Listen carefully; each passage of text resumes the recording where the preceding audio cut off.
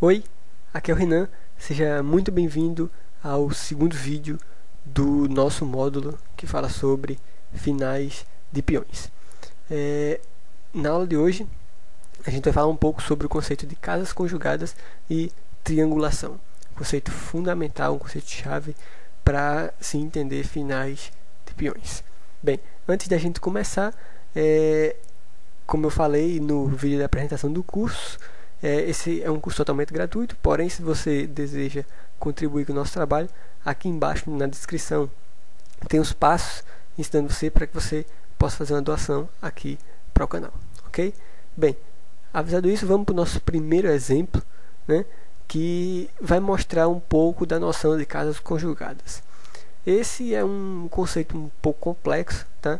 Então a gente vai explicar apenas o básico aqui para a gente conseguir aí avançar no nosso curso. É, aqui, nessa posição, é lance das brancas, e aí é, elas querem vencer, óbvio, e elas precisam, no caso, o, qual o plano delas? Ou entrar com seu rei aqui em B6 para ganhar o peão, né, de A6, ou simplesmente levar seu rei a D7 para fazer com que seu peão promova.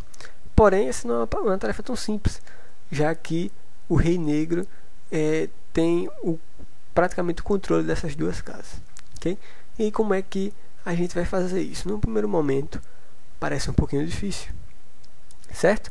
Porque, por exemplo, se rei D6, uh, seguiria simplesmente rei D8, e aí após C7 cheque, rei C8, o que leva ao afogamento do rei, certo?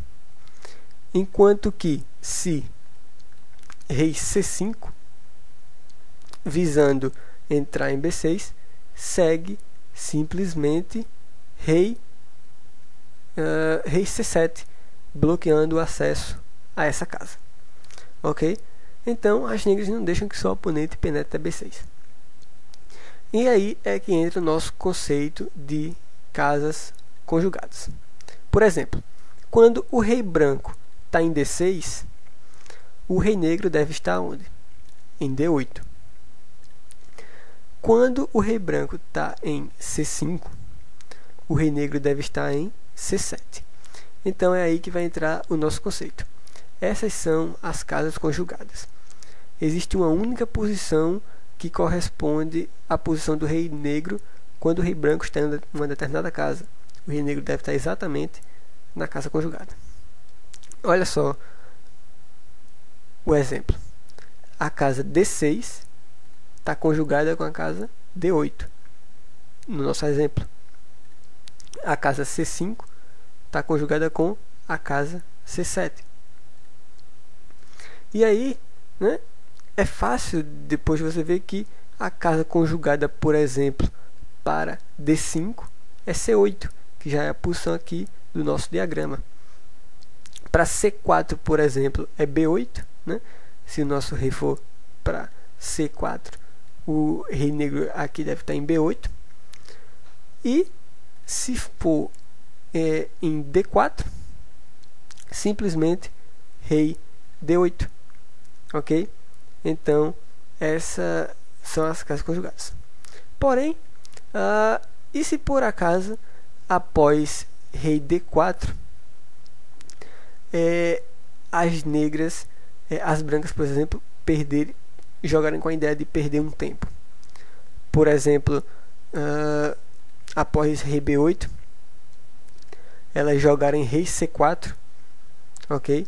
E aí as negras não vão poder mais manter a conjugação de casas, ou seja, elas não vão poder mais estar na casa conjugada com C4 que era B8, uma vez que elas já estão aqui. Ok? Então, após rei C8, por exemplo, é, esse lance é definitivamente, é decisivamente contestado por rei D5. E aí, após rei C7, segue simplesmente rei C5 e agora o, as brancas ganham, certo? Se aqui nesse lance, por exemplo, em vez de rei C7, seguisse, por exemplo, rei D8, seguiria simplesmente rei D6 e aí as brancas ganham a oposição e são e aí elas têm o final decisivo, ou seja, vão vencer, ok? Então, após rei d5, simplesmente após rei c7, rei c5, e aí agora é um final ganhador para as brancas, pois elas vão conseguir aqui invadir a casa b6, certo? Esse foi o nosso primeiro exemplo. Aqui, nosso segundo exemplo, as brancas vão tentar fazer o máximo para trazer o seu rei para d4, ok? E elas vão vencer como no exemplo, é, como mostrado no exemplo anterior, ok?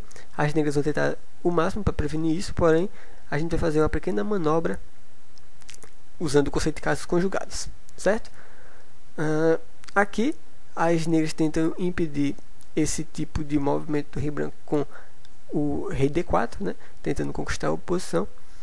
Porém, o rei branco agora vai usar o conceito de caixas conjugadas, que nesse exemplo são, por exemplo, quando o nosso rei branco está em b4, a casa conjugada com ele é d4, e quando, por exemplo, após b3, a gente joga o rei e5.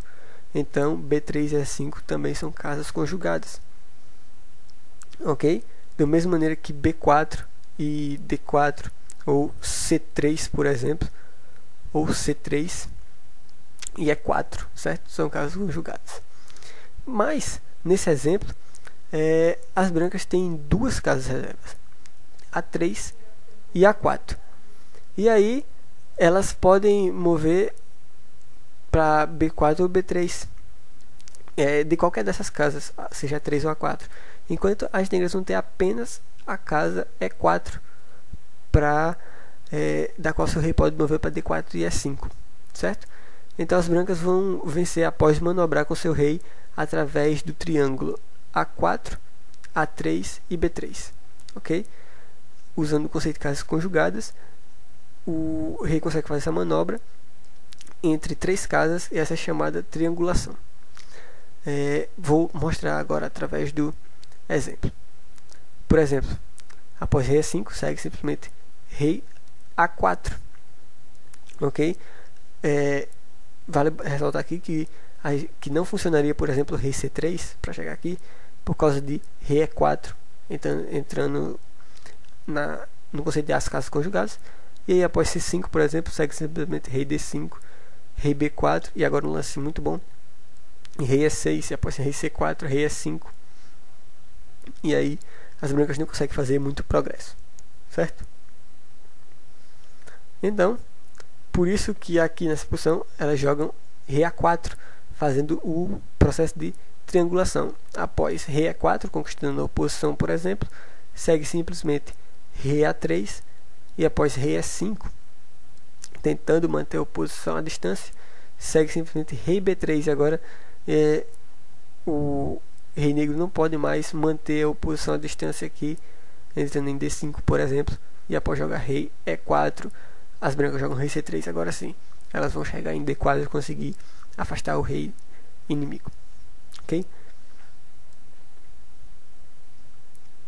E por fim, nesse nosso segundo vídeo, o nosso terceiro e último exemplo é jogam as brancas e vencem usando o conceito de triangulação.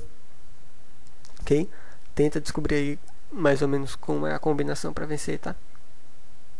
É, talvez você tenha pausado não. É, vamos lá, o triângulo aqui que a gente vai usar é o triângulo formado pelas casas E1, D2, D1, né? E1, D2 e E2, onde nosso rei já está ok? Por exemplo, aqui o primeiro lance ser jogado rei é 1, um outro lance.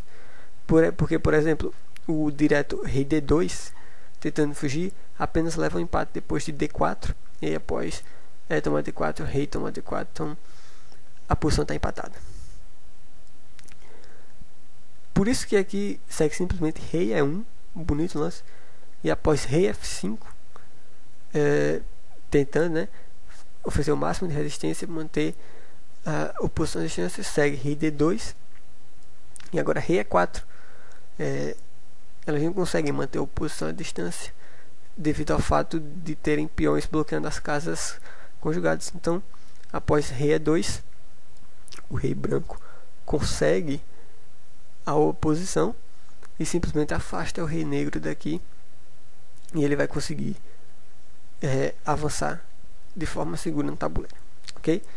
Então, esse é um conceito bem complicado, é um conceito bem difícil, porém se você estudar um pouquinho, procurar um pouco mais, mais alguns exemplos, sem dúvida alguma, você vai dominar e à medida que você domina, você vai sentir uma grande diferença no seu jogo de finais.